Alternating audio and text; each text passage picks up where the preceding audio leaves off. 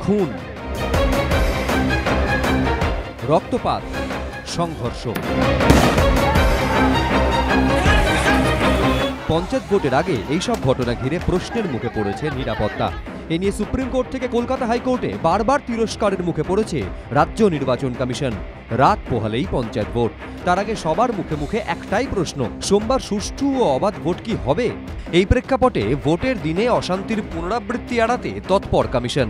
এগারোই মে স্বরাষ্ট্র সচিব অত্রি ভট্টাচার্য, রাজ্য পুলিশের ডিজি সুরজিৎ কর পুরকায়স্থ এবং এডিজি আইন শৃঙ্খলা অনুজ শর্মার সঙ্গে বৈঠক করেন রাজ্য নির্বাচন কমিশনার অমরেন্দ্র কুমার সিংহ।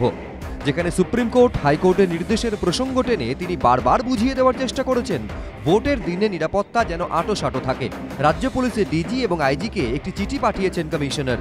সেখানে সুপ্রিম কোর্টের একটি নির্দেশের দিকে দৃষ্টি আকর্ষণ করা হয়েছে, যেখানে সর্বোচ্চ আদালত বলেছে, আবেদনকারী অর্থাৎ রাজ্য নির্বাচন কমিশন দেখবে গণতন্ত্রে নির্বাচনের পবিত্রতা বজায় রেখে চোদ্দই মের ভোট যাতে স্বচ্ছভাবে হয়।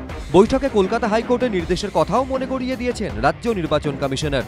তিনি বলেছেন, হাইকোর্ট দশই মে নির্দেশ দিতে গিয়ে বলেছে, তারা আশা রাখছে যখনই ভোট হোক, তা যাতে সুষ্ঠু, স্বচ্ছ এবং শান্তিপূর্ণভাবে হয়, সেজন্য প্রয়োজনীয় পদক্ষেপ নেওয়া হবে। এটা নিশ্চিত করতে হবে, নিজেদের সেরাটুকু দেবে রাজ্য এবং রাজ্য নির্বাচন কমিশন।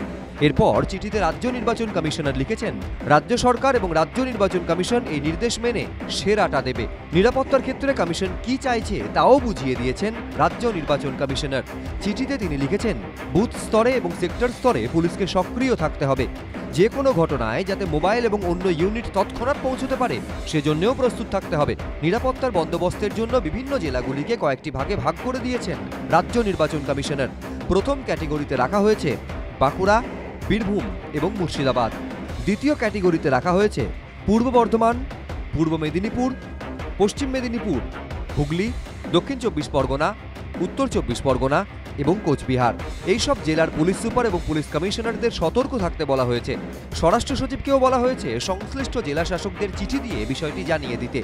পাশাপাশি কমিশনারের চিঠিতে আরও একটি বিষয় নিয়ে উদ্বেগ প্রকাশ করা হয়েছে। তিনি লিখেছেন, যেখানে বিনা প্রতিদ্বন্দ্বিতায় ফয়সালা হয়েছে, এমন আসনের সংখ্যা বেশি, সেখানকার লোকজন অন্য এলাকায় যেতে পারে। তা আটকাতে বিভিন্ন জেলার সীমানা সুরক্ষিত রাখতে হবে। চিঠির কড়া নিরাপত্তা বাস্তবে দেখা যায় কিনা, তার উত্তর সোমবারই মিলবে। এবিপি আনন্দ।